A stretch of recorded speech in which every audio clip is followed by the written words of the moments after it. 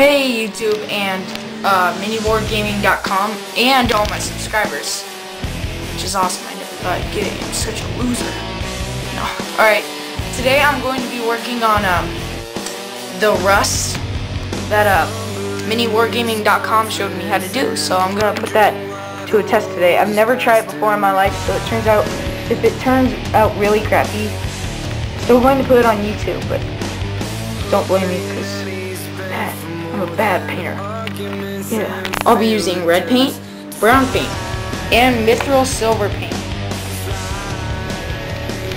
Okay, so like they said, add a base layer of red. Ooh, too much. Yeah, so, show you when that's done. Have a nice thick layer of red now. Took me forever to get done. now we're gonna add some brown. Now when you do this, make sure you don't cover all of the red, just some of it. Not covering the whole thing. Painting, painting, how I love to paint. Here is what it looks like so far. Once again, do not cover all the red. That would be bad.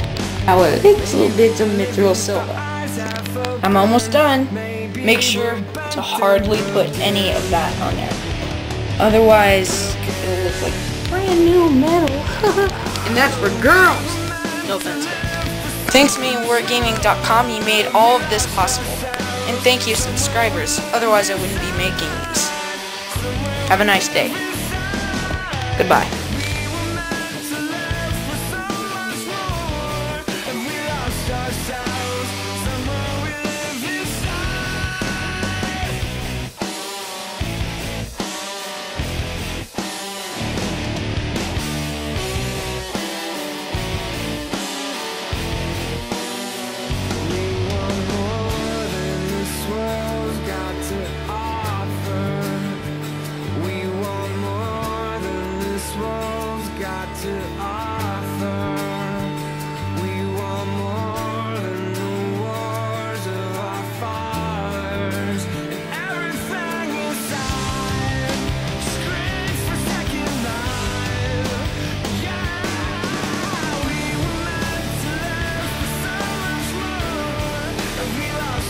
sound